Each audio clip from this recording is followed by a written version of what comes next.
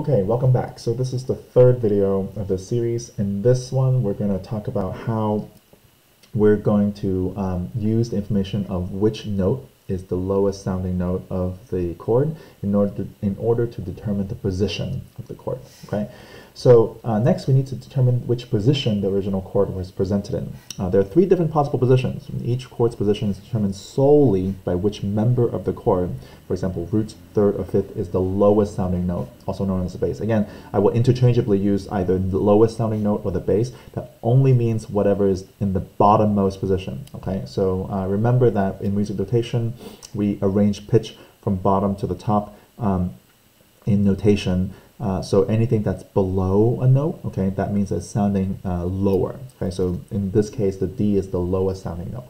Okay. Anyway, so uh, this is the same triad from the example um, in the uh, last video or uh, above in the worksheet, and we arranged them into um, the root position. So G, B, and D, and we figured out that G is the root, B is the third, and D is the fifth. Um, when we get back to the original triad, okay, so original position with the D in the bottom, D4, okay, we can now still look at the same names, uh, right, for the D. The D is the fifth of this chord, the G is the root, and the B is the third. These names come from the root position. Remember, once we put into root position, we now know that the G is the root. Any other form, uh, any, any other position for this chord, no matter where the G is, either up here or down here or even an octave lower, it will always be the root. Okay, same thing for all the other ones. That's why here, even though the D is uh, below the G, in this formation of the chord, this is still the fifth, okay? Because we determined that the D is the fifth of this chord, this triad, right? Okay, so we can see that the fifth is the lowest sounding note. With this information, then we can name the position of this form of the triad. Right? Recall that there are three different possible positions um, I mentioned above, and each chord's position is determined solely by which member of the chord, i.e. the root, third, or fifth, is the lowest sounding note. It's also known as the bass. On the last page of this PDF, okay, um, there's a chart. If the lowest sounding note is the root, then the position's name is root position. Okay, so that's um, just from, from what we talked about before in root position. However, if the lowest sounding note is the third of the chord, then we call it first inversion. The lowest sounding note is the fifth of the chord, then we call it second inversion. Okay, uh, you can see an example here. Okay, I have an A minor triad, so uh, A C E. Uh, in this position, this is a root position because the A is the root and indeed is the lowest sounding note.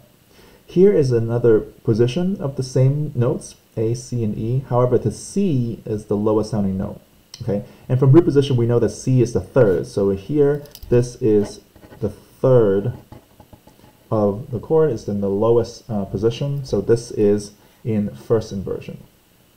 When we, uh, we can invert it again into a different position. Now this lowest sounding note is the fifth. Okay. Um, and you can see that if the lowest sounding note is the fifth, we can call it the second inversion. They're named this way because we can invert a given triad twice by using a different member of the triad as the lowest sounding note. So when the root is in the bass, it is called root position. When we can invert it once with the third in the bass, we call it first inversion. We can invert it again with the fifth in the bass, we now call it the second inversion. Okay. Um, by the way, it doesn't matter uh, even if this uh, this note is an octave lower or, or, or, what have you, it doesn't matter what the distance is between the lowest sounding note and, and the other notes. As long as the lowest sounding note is the third here, for example, it will always be the first inversion. Okay, so we're always just looking at what is the lowest sounding note.